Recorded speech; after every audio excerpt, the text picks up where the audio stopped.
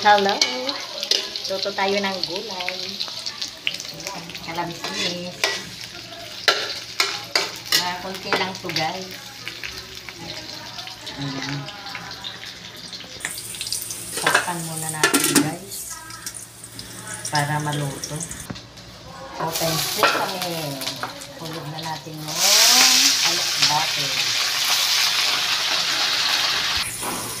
Lagyan natin ng konting iodized salt.